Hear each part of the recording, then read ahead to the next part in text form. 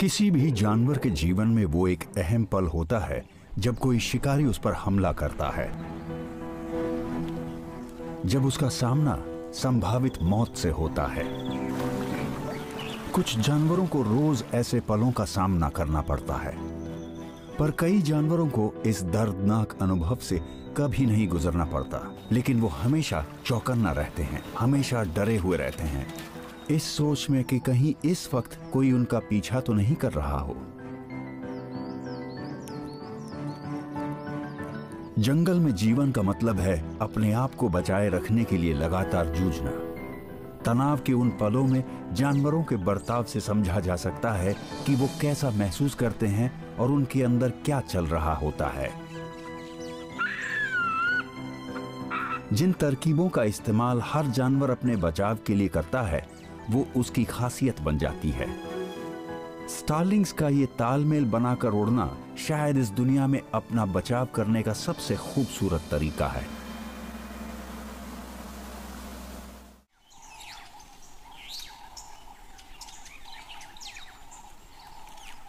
बिल्कुल एक जैसे दिखने वाले दूसरे सदस्यों से घिरे रहकर जीने का फैसला किसी सभा में नहीं लिया जाता, ना ही वो किसी अकेले जानवर का फैसला होता है। असल में, ये कोई फैसला होता ही नहीं है, बल्कि ये तो नतीजा है। वो भी अलग अलग कारणों का। बहुत बड़े बड़े झुंडों में इकट्ठा होना कुछ प्रजातियों के लिए अच्छा हो सकता है, जिससे उन्हें नुकसान की तुलना में फ़ायदा ज़्यादा होता है।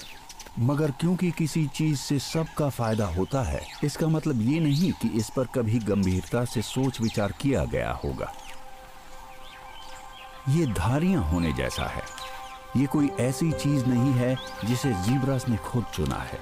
यहाँ कोई भी अपनी खुद की मर्ज़ी नहीं चला रहा। हर एक जीब्रा अपने आसपास धारियों को देखकर खुद को सुरक्षित महसूस करता है। एक ऐसी चीज़ जो बचाव का काफ़ी असरदार तरीका है, जिसकी वजह से शेर पता नहीं लगा पाते कि एक जीब्रा कहाँ से शुरू होता है और कहाँ खत्म होता है। हर जीब्रा अपने आसपास और जीब्रास के होने से सुरक्षित महसूस करता है। कभी कभी इनकी ये चाहत इन्हें दूसरे झुंडों में शामिल होने के लिए मजबूर कर देती है, जैसे एंटलोप या विल्ड बीस्ट इनमें से कईयों को भीड़ में रहने से दिलासा मिलता है।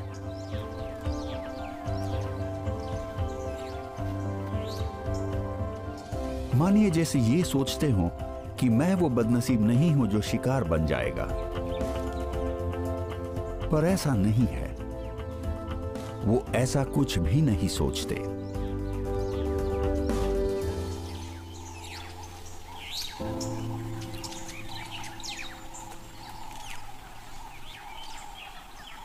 लाखों सालों तक शेरों का सामना करने के बाद जीब्रास अलग रहने की तुलना में एक साथ ज़्यादा समय बिताते हैं।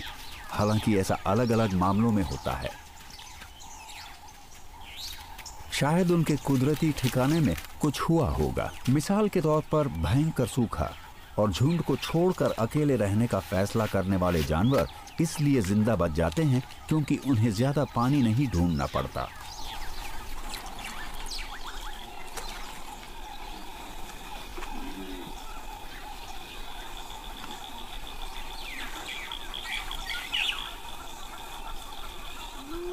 जीब्रा या अफ्रीकन बफलोज के बड़े झुंड की जरूरतें भी बड़ी होती हैं।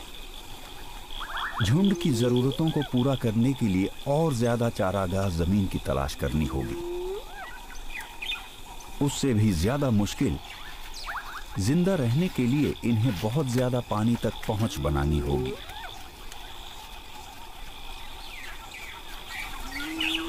जो काम करने लायक महसूस होता है उसके विपरीत, अफ्रीका के खुर वाले बड़े जानवर एक ऐसे इकोसिस्टम में रहते हैं जो अक्सर सूखे का शिकार हो जाता है। अकेले जानवरों के लिए एक झुंड बनाना उन्हें सीमित कर सकता है, पर ऐसा है नहीं। उनके दिख जाने की बात करें तो शेरों के लिए उन्हें देखना तब बहुत आसान होता है जब वो बड़ी संख्या में एक जगह पर होते हैं। हालाँकि इनका पीछा करना आसान है पर उनमें से किसी एक का शिकार कर पाना बहुत मुश्किल होता है। स्टारलिंग से उलट, बफलो जवाबी हमला करके खुद का बचाव कर सकते हैं। इनका अपना इलाका होता है। और जब ये अपने बच्चों की देखभाल कर रहे होते हैं तो इनमें और ज़्यादा हिम्मत आ जाती है। ये सभी बहुत बड़ा खतरा उठाते हैं। माता पिता बनने से पैदा होने वाले हॉर्मोन्स की वजह से हम सभी को थकान और डर कम महसूस होता है। ज़ाहिर है, बच्चों को झुंड में रहने से फ़ायदा होता है। सिर्फ़ इसलिए नहीं कि वो सुरक्षित रहकर झुंड के बीच में सफ़र करते हैं, बल्कि इसलिए भी कि वो वयस्कों के अनुभव से सीख सकते हैं झुंड की अगुवाई करने वाले सदस्यों से। ये सबसे माहिर जानवरों से सीखते हैं।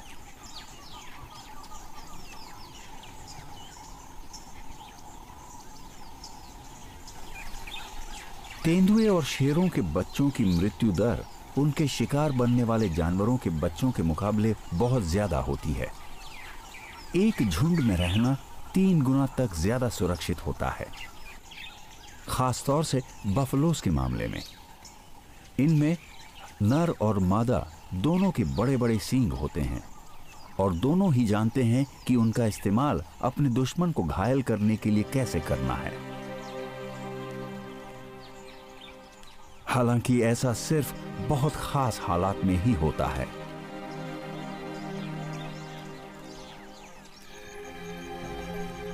एक झुंड में शिकार करने वाले शेरों के लिए शक्तिशाली बफलो एक आम शिकार है। उनके सींगों के बावजूद।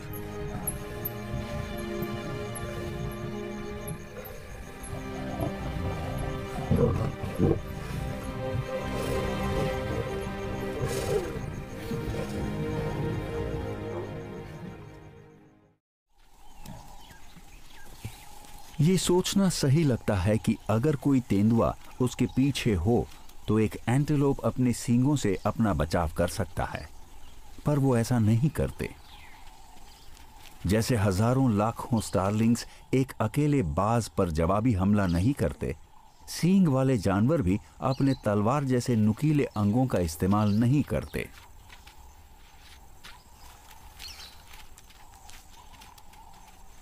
उनके दिमाग में वो ख्याल ही नहीं आता कि मेरे सर पर दो नुकीले हथियार हैं, जिनका इस्तेमाल मैं लड़ने के लिए करता हूँ तो क्यों ना उनका इस्तेमाल अपने शिकारी के खिलाफ भी करूँ?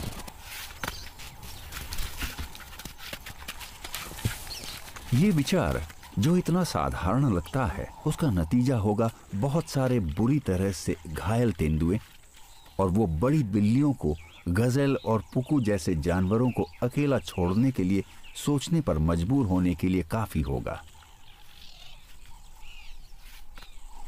लेकिन इन जानवरों के पास इतनी समझदारी नहीं होती कि इस तरह की चीज़ों का आकलन कर सकें। उनके बचाव का तरीका है एक साथ रहना और चौकन्ना रहना, जहाँ बहुत सारे जानवर निगरानी कर रहे होते हैं, ताकि उन पर अचानक हमला ना हो।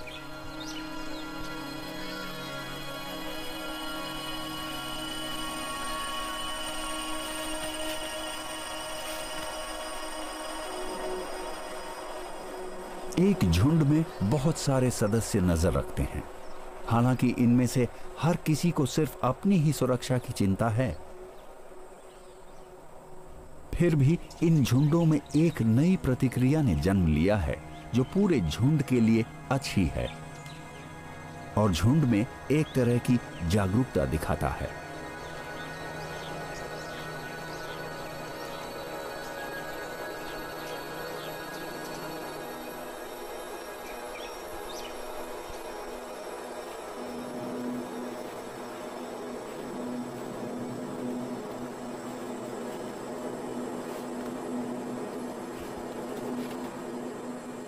जब किसी पूकू को लगता है कि कोई खतरा उसकी तरफ़ बढ़ रहा है तो भागकर अपनी जान बचाने और झुंड को शिकारी के रहम पर छोड़ने के बजाय वो शोर मचा देता है।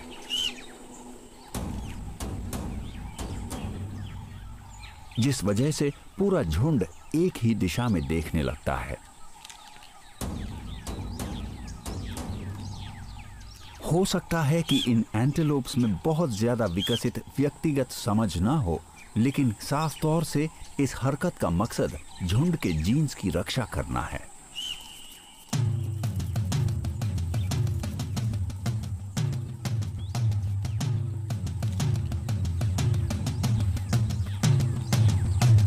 शायद पूकू न चाहते हुए भी बाकियों को सचेत कर देते हैं, बल्कि उनकी मंशा होती है तेंदुए को बताना कि, ओए, मैंने तुम्हें देख लिया है तो अच्छा होगा तुम मुझ पर हमला करने का इरादा छोड़ दो। ये एंटेलोप पहले ही डर के मारे अधमरा हो चुका है, लेकिन तेंदुए का हमला नाकाम हो गया, और अब इन्हें बिल्लियों से डर नहीं लग रहा, क्योंकि वो उन्हें देख चुके हैं। ये जानते हैं कि अचानक हमला किए बिना तेंदुआ इनका शिकार नहीं कर सकता। और क्या? जब कोई एंटेलोप शिकारी को सुरक्षित दूरी से देख लेता है और उसे पता है कि हमलावर पहले नाकाम हो चुकी कोशिश की वजह से थक चुका है तो अक्सर वो कुछ ऐसा करता है जो चिढ़ाने वाली हरकत जैसा लगता है।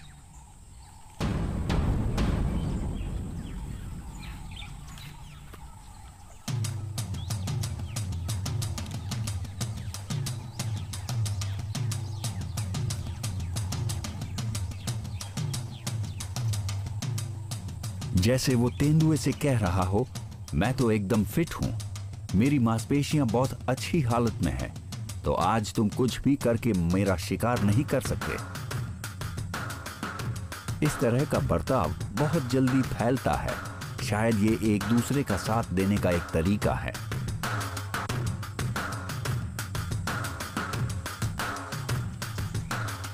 ये कूदते हैं और दौड़ लगाते हैं, जैसे अपने शिकारी का हौसला तोड़ने की कोशिश कर रहे हो। हालाँकि इनके लिए ये सिर्फ़ कुछ राहत पाने का तरीका है, अपने डर से पीछा छुड़ाने का तरीका।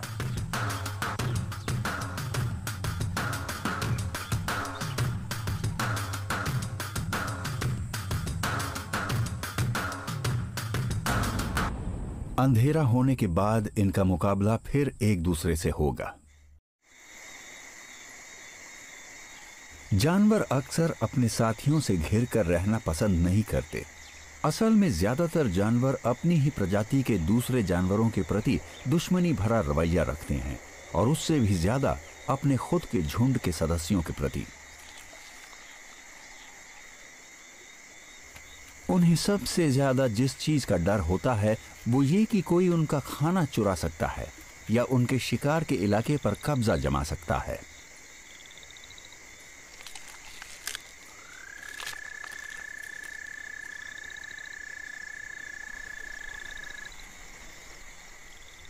बिच्छू, पूरी दुनिया में सबसे कम सामाजिक जीवन जीने वाले जीव हैं। वो बाकी जानवरों से घुलते मिलते नहीं, और वो दूसरे बिच्छुओं को बिल्कुल बर्दाश्त नहीं करते।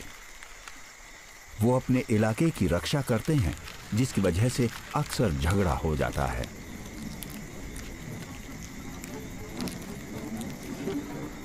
उन्हें एहसास हो जाता है कि उनका विरोधी उनके शिकार से अलग है। उन्हें ये भी पता चल जाता है कि वो उन्हीं की प्रजाति के हैं। इसलिए वो शिकार करने के तरीके के बजाय एक दूसरे से अलग तरीके से पेश आते हैं। शुरू में तो वो एक दूसरे को अपने डंक मारने की कोशिश नहीं करते, बल्कि वो अपने पंजों का इस्तेमाल करके एक दूसरे से मुकाबला करते हैं। अगर इनका मुकाबला किसी शिकार से होता तो इन्होंने अब तक उसमें अपना जहर छोड़ दिया होता। सिर्फ़ जब इनका मुकाबला टक्कर का होता है और दोनों में से कोई हार नहीं मानता तो इन्हें अपने जहर और डंक का इस्तेमाल करना पड़ता है। और जो शुरू में सिर्फ़ थिरकना था, अब जानलेवा नाच में बदल जाता है। जो इनमें से किसी एक या दोनों की जान ले सकता है।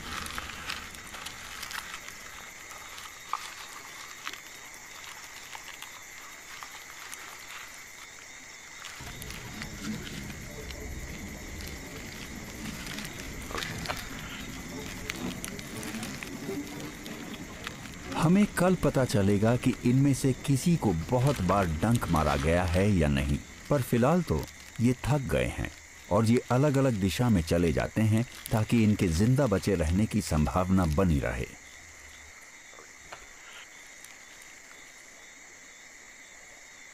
एक बिच्छू का छोटा सा दिमाग खतरे को समझ ही नहीं पाता।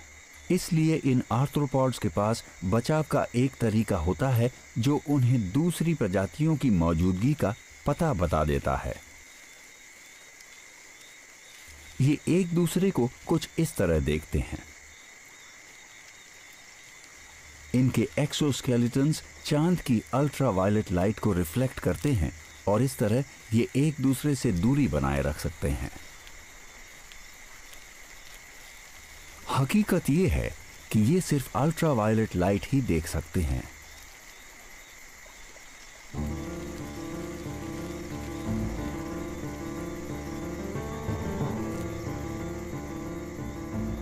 बिच्छुओं को बहुत कम नज़र आता है और वो भी धुंधला धुंधला लेकिन ये कमाल के शिकारी होते हैं। अक्सर ये अपने आसपास हो रही गतिविधियों का पता बेहद बारीक बालों से लगा लेते हैं, जिनसे इनका पूरा शरीर ढका होता है। और इन बालों की मदद से ये अपने पास से गुजरने वाले किसी कीड़े की हल्की सी आहट का भी पता लगा लेते हैं। जो बात इस बिच्छू को नहीं पता कि इस बार इसका मुकाबला एक बीटल से होने वाला है, जो केमिकल हथियारों से अपना बचाव कर सकता है।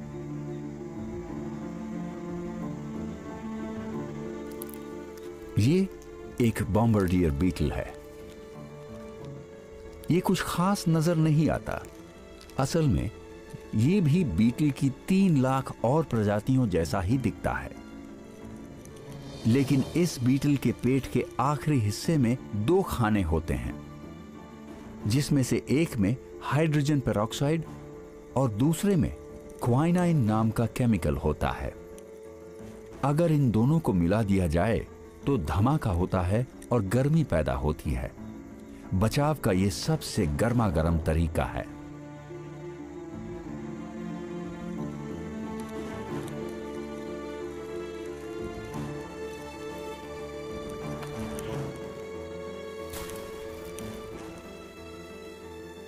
बिच्छू को कुछ पलों के लिए सदमा लगता है और शायद इसका क्यूटिकल भी हल्का सा जल गया होगा, जबकि बॉम्बर्डियर बीटल बिना घायल हुए अपनी नन्ही सी दुनिया के सबसे बड़े खतरे से बच निकलता है।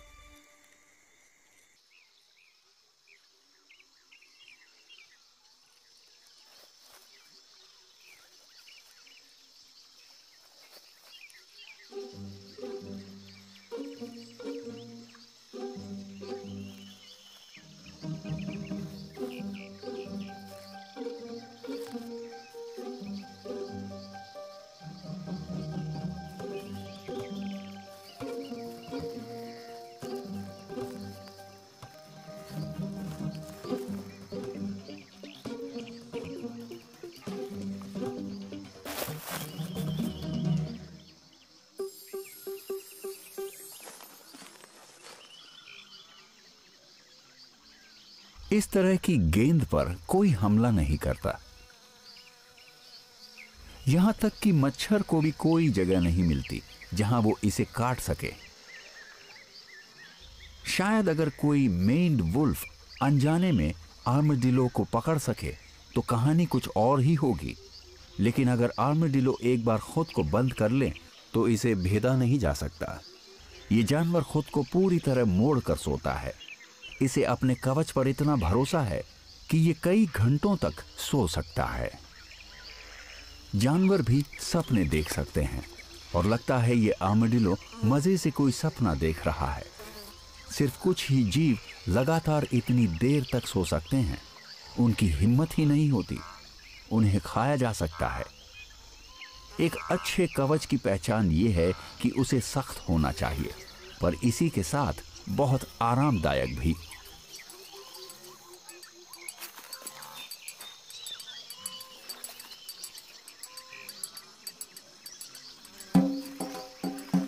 इससे चलने फिरने में आसानी होती है। हालाँकि बहुत ही ज़्यादा सपाट इलाका परेशानी भी खड़ी कर सकता है।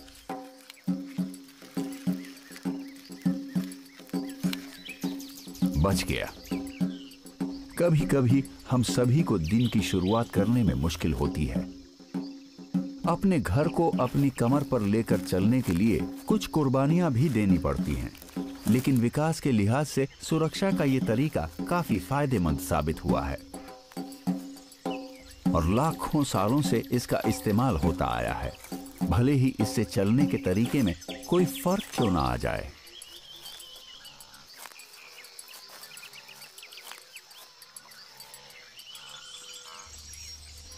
रफ्तार में भी।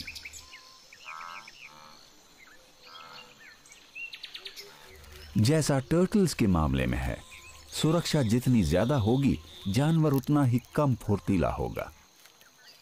सभी तरह के कवचों में से ये सबसे असरदार है, और सबसे पुराने में से एक भी। इसका इस्तेमाल सबसे पहले डायनासोर्स के समय से होता आया है। इनकी पसलियाँ चौड़ी हो जाती हैं और हड्डीदार प्लेट्स पूरे जानवर को ढक लेती हैं। ऊपर और नीचे। इसका गोल आकार किसी गुंबद की तरह होता है, जो किसी भी जानवर के दबाव को कम करने में मदद करता है, जो उसे तोड़ना चाहता है। यहाँ तक कि शिकारी के पहने दांत भी फिसल जाते हैं और वो कभी इसके ढांचे में छेद भी नहीं कर पाते।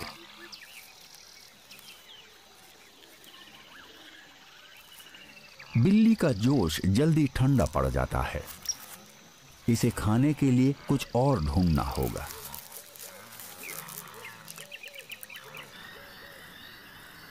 पिल बग्स को मस्ती करना पसंद नहीं।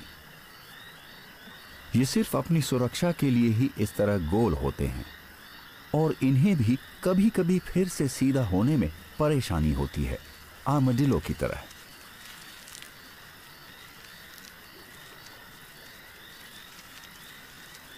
ये हैरानी की बात है कि कैसे सुरक्षा के असरदार तरीके क्रमिक विकास में बहुत दूर के जीवों में भी पाए जाते हैं, जैसे एक मैमल और एक क्रस्टेशियन।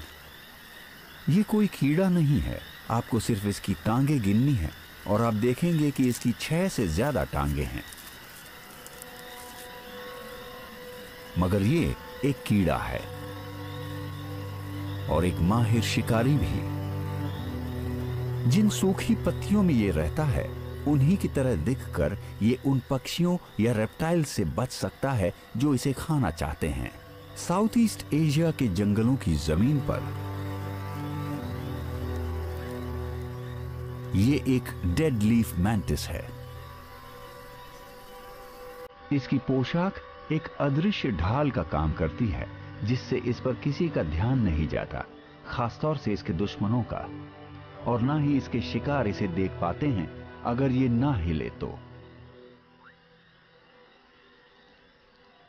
दोनों ही वजहों से ये तभी एक कदम उठाता है जब बहुत ज़रूरी होता है। ये जानता है कि इस तरह इसे कम खतरा होता है और इससे इसे राहत मिलती है, और ये एहसास इसे प्रेरित करता है। पिलबग पास आता है। अपने कवच पर भरोसा करके। शायद ये उस पर कुछ ज़्यादा ही भरोसा कर रहा है।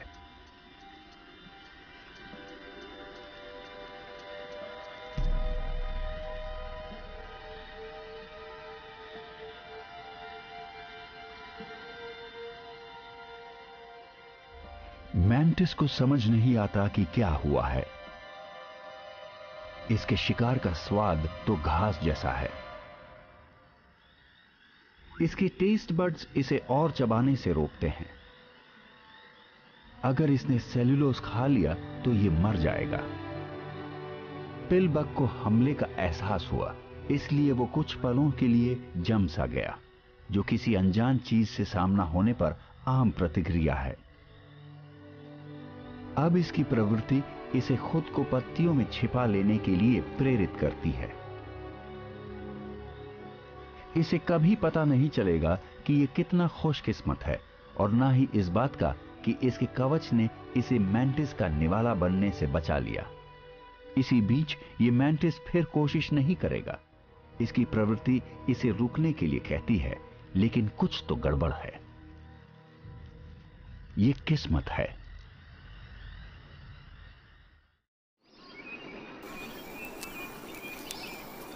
बचाव के कुछ तरीके साफ़ नज़र आते हैं और हमला करने की इच्छा को भी खत्म कर देते हैं। किसी भी रेप्टाइल पक्षी या मैमल का दिमाग समझा जा सकता है कि इन कांटों से बहुत नुकसान पहुँच सकता है।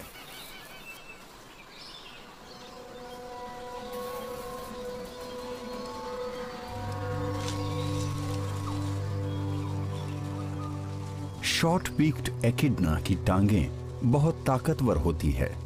और अगर इसे कोई खतरा महसूस हो तो ये अपने नाखूनों को ज़मीन में इतनी मजबूती से गड़ा लेता है कि इसे पलटना लगभग नामुमकिन हो जाता है।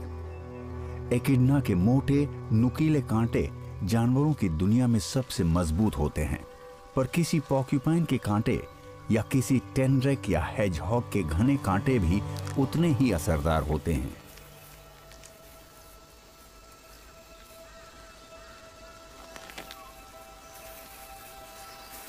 और तो और, ये मासूम एकिडना बहुत ज़्यादा स्वादिष्ट भी नहीं लगता।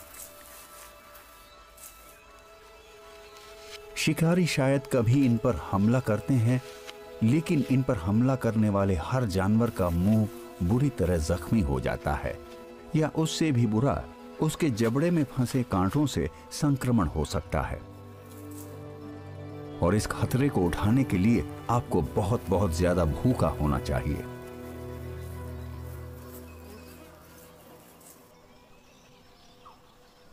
पौधों ने खुद को बचाने के लिए कांटों का आविष्कार किया था। जानवरों पर कांटे उगने से भी बहुत पहले। कोई दिमाग न होने के बावजूद पौधे भी हमलावरों से अपने बचाव के लिए पेचीदा सुरक्षा प्रणाली अपनाते हैं। कहने का मतलब है खुद को शाकाहारी जीवों से बचाने के लिए। पौधे फ़ूड चेन का आधार हैं। प्रत्यक्ष या अप्रत्यक्ष रूप से हम सभी पौधे खाते हैं। और इसीलिए उन्होंने स्वाद को बुरा बनाने के लिए टैनिन्स सैपोनिन्स और फिनॉल्स का आविष्कार किया। कुछ पौधों में तो जहर भी होता है, जो उन्हें खाने वालों के लिए घातक साबित हो सकता है। तो कुछ की सोच के विपरीत, पौधे पूरी तरह लाचार नहीं होते। जब पौधों ने सुरक्षा के तरीकों को विकसित किया तो कुछ शाकाहारी जीवों ने मज़बूत पेट या जिराफ जैसी सुन जीव विकसित कर ली बबूल, पत्ते और कांटे खाने वाले इन बेहद लंबे जीवों का मनपसंद खाना है।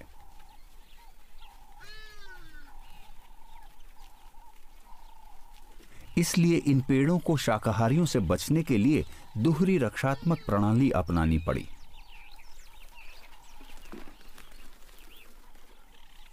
जब कोई जानवर बबूल को काटता है या इसके कुछ पत्तों को खींचता है तो पेड़ कड़वे पदार्थ छोड़ना शुरू कर देता है ताकि उसकी पत्तियाँ बेस्वाद हो जाए। थोड़ा थोड़ा करके वो और कम स्वादिष्ट होते जाते हैं, जिससे जिराफ का मुँह पूरी तरह सूख जाता है और उसे खाना खाने के लिए कहीं और जाने पर मजबूर कर देता है।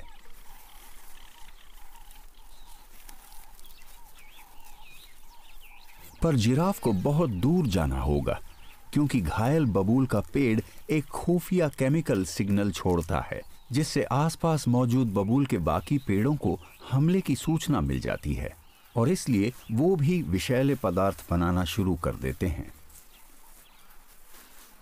पौधे नुकसान न पहुँचाने वाले लग सकते हैं, पर ऐसा है नहीं।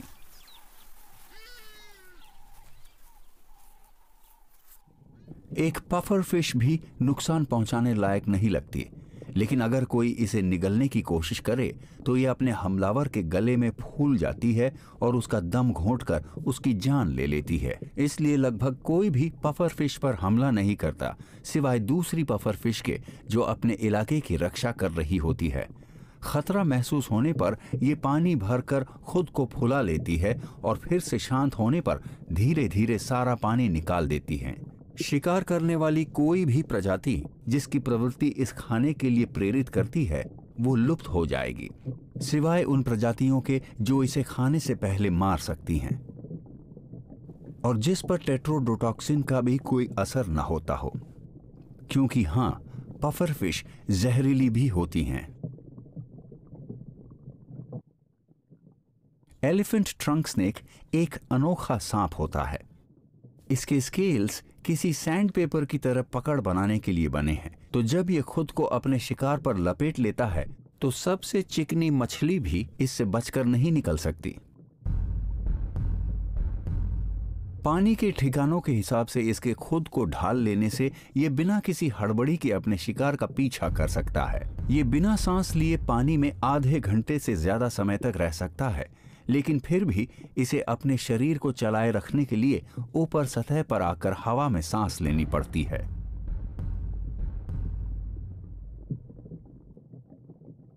जब ये चलता है तो इसे बहुत धीरे धीरे आगे बढ़ना होता है, ताकि इसकी मौजूदगी का पता न चले। बचाव का सबसे अच्छा तरीका है नकल करना। जो शिकार करने का भी सबसे अच्छा तरीका है। ये पानी में तैरती हुई किसी टहनी जैसा दिखता है।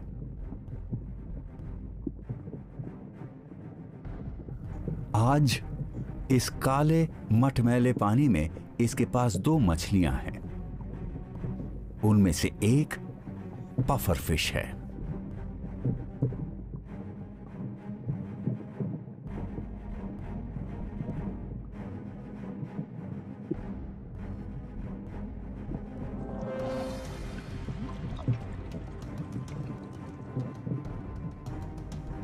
ये पता लगाने से पहले कि क्या ये इस जहरीली मछली को अपनी जान गंवाए बिना खा सकता है, सांप को पफरफिश के बचाव के पहले तरीके को नाकाम करना होगा। ये मछली फूल कर एक कांटेदार गेंद में बदल जाती है।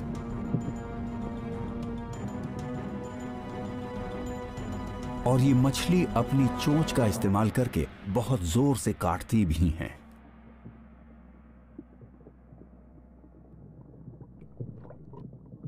पफर फ़िश सबसे खराब शिकार में से एक है। इन्हें पृथ्वी पर मौजूद दूसरा सबसे जहरीला जीव माना जाता है। सबसे ज़्यादा जहरीला होता है golden poison frog Phyllobates terribilis एक जानवर की ज़िंदगी तब कैसी होती है जब कोई उसे छूने तक की हिम्मत नहीं करता? क्या ये इकलौता ऐसा जीव है जिसे किसी से डर नहीं लगता? इस नन्हे पॉइजन डार्ट फ्रॉग के शरीर में इतना जहर होता है कि सिर्फ़ एक फ्रॉग ही कई लोगों की जान ले सकता है। लेकिन इस फ्रॉग के पास अपना जहर छोड़ने का कोई तरीका नहीं है। ना इसके दांत होते हैं, ना कांटे और ना ही कोई डंक होता है। ये जहर इसकी त्वचा पर होता है। इसकी त्वचा में मौजूद कुछ ग्लैंड्स एक एल्कलॉइड छोड़ती हैं, जिससे लकवा मारने जैसा असर होता है, और वो है बेट्राकोटॉक्सिन ताकि कोई गोल्डन पॉइजन फ्रॉग को खाने की भी न सोचे। बचाव का यह तरीका इतनी अच्छी तरह काम करता है कि एवोल्यूशन ने इस तरह के कई और नन्हे फ्रॉग्स को जन्म दिया। गोल्डन पॉइजन फ्रॉग, जिससे सेंट्रल और साउथ अमेरिका के कुछ मूल निवासी अपने तीरों को जहरीला बनाते हैं, वो फ्रॉग्स कुछ खास कीड़े खाते हैं जिसकी मदद से वो अपना जानलेवा जहर बनाते पक्षी और रेप्टाइल्स या कोई भी जीव जो रंगों को देख सकता है, उसने अपने जीन्स बदौलत सीख लिया है कि उसे हर हाल में भड़कीले रंगों वाले किसी भी जीव से दूर रहना होगा। और ये विचार एम्फिबियंस तक ही सीमित नहीं है, ना ही उन्होंने इसका आविष्कार किया है। तितलियाँ अपने पंखों को वही फ्रॉग्स वाला संदेश पहुँचाने के लिए बहुत सारे रंगों से ढक लेती हैं। हालाँकि तितलियों को पचाया नहीं जा सकता या वो बेस्वाद होती हैं। ये विचार लाखों साल पुराना है।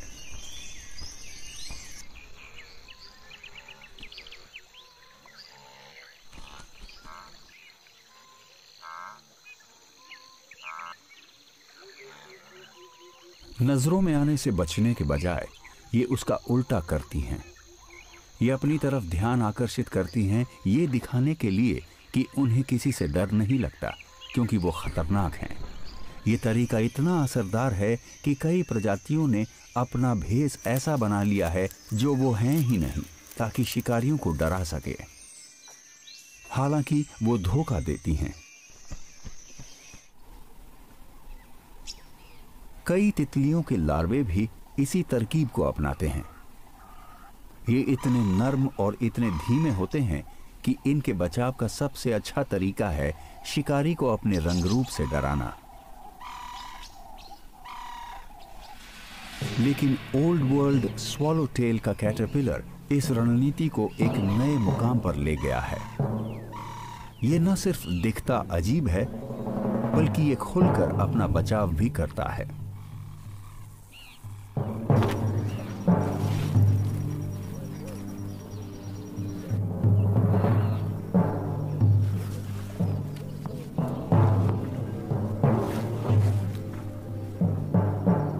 जब इस पर हमला होता है तो ये नारंगी रंग के दो सींग दिखाता है, जिनमें से एक अजीब और तेज गंध आती है, जिससे मैंटिस भी सोच में पड़ जाते हैं,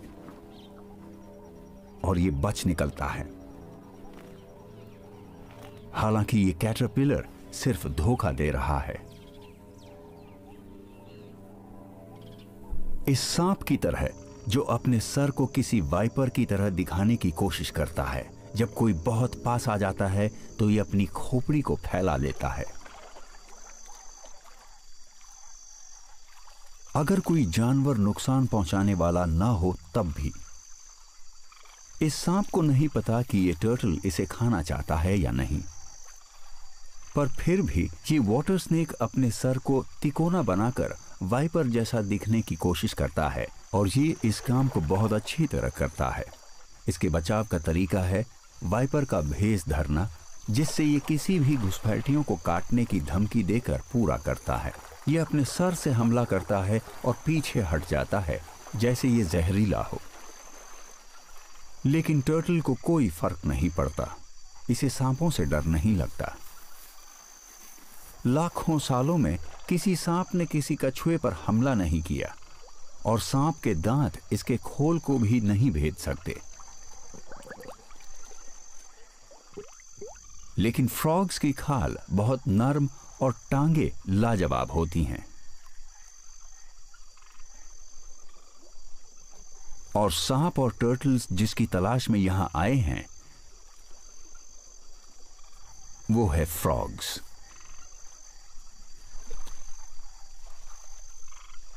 पर ये फ्रॉग्स इनसे कहीं ज़्यादा फुर्तीले हैं।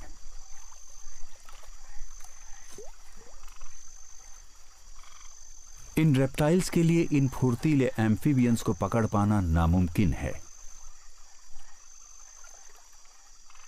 आइबेरियन वाटर फ्रॉग्स खुद को बचाने के लिए मामूली सी संदिग्ध गतिविधि होने पर वहाँ से भाग निकलते हैं।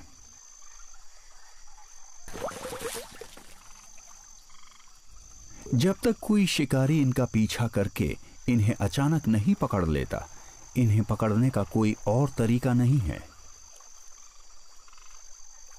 जो चीज़ फ्रॉग्स को सबसे ज़्यादा सुरक्षा देती है, वो है उनकी आँखें।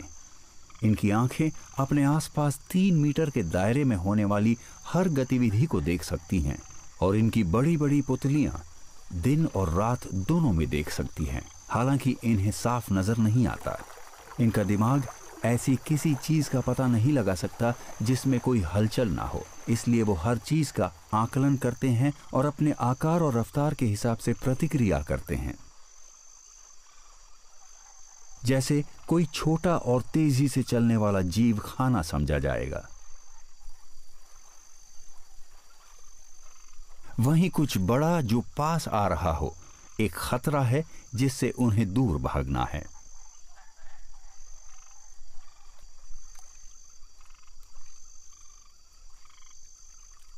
यूरोपियन फायर बेली टोड की पुतलियाँ बहुत छोटी होती हैं और इसे छलांग लगाना भी नहीं आता, पर इसे ज़रूरत भी नहीं है।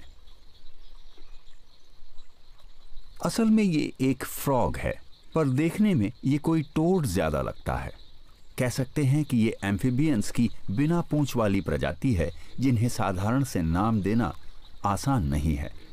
ये है यूरोपियन फायर बेली टोड या बोम्बिना बोम्बिना और इसके बचाव का तरीका है नकल करना।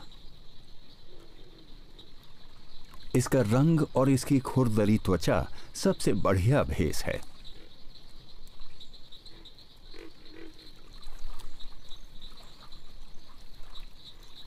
आइबीरियन वाटर फ्रॉग से अलग, जब ये प्रजाति डर जाती है तो ये और जम जाती है। डर से बेजान हो जाती है। और उससे ये नज़र नहीं आते।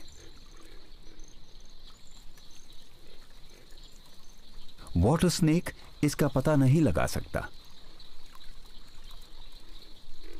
और ये फ्रॉग के ऊपर से बिना ये समझे निकल सकता है कि इसने मौका गवा दिया है।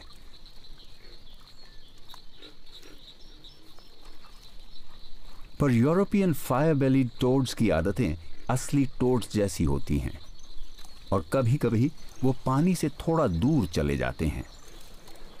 अगर उनमें से किसी का सामना इस सांप से ज़मीन पर हो गया तो ये सांप उसे खाने लायक चीज़ की तरह आसानी से पहचान लेगा और फिर इस मुठभेड़ का नतीजा कुछ और ही होगा।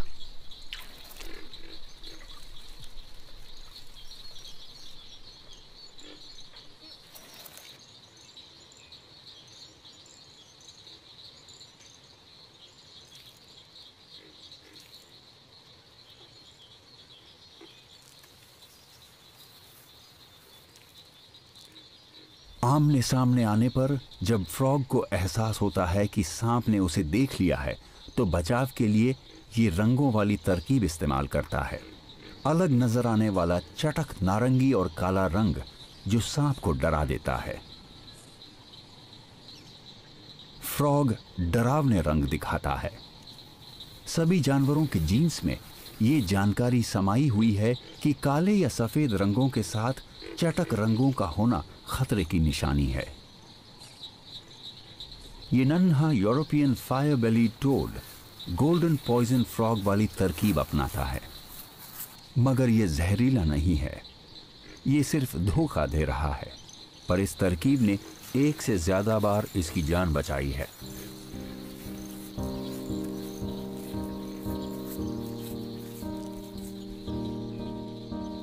जानवरों को अंदर से समझने की कोशिश करना एक ऐसा काम है जो अक्सर अस्थाई या बिना फैसले वाले नतीजे देता है।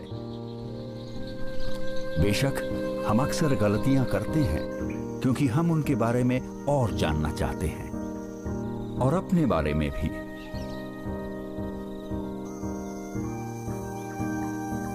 हमारा इंसानी नज़रिया हर चीज़ को और भी पेचीदा बना देता है। क्योंकि हम सोचते हैं कि वे हमारे जैसे हैं।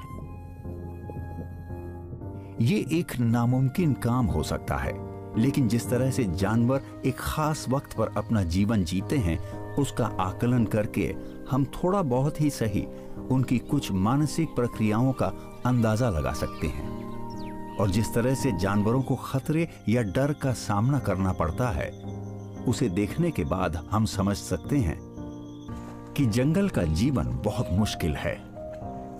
वो लगातार तनाव में रहते हैं। शिकारियों और शिकार के बीच प्राकृतिक संतुलन बनाए रखने में घबराहट और तनाव सबसे ज़्यादा काम आते हैं। जंगल कोई स्वर्ग नहीं है, जहाँ सबके लिए अच्छी भावना होती है। दूर से देखने पर और अनजाने में यह हमें ऐसा लग सकता है। लेकिन जानवर खतरनाक जीवन जीते हैं, भूख, प्यास और चिंता के साथ। और इसलिए हम सभी को ज़िंदा रहने के लिए बचाव के तरीकों से लैस बनाया गया है।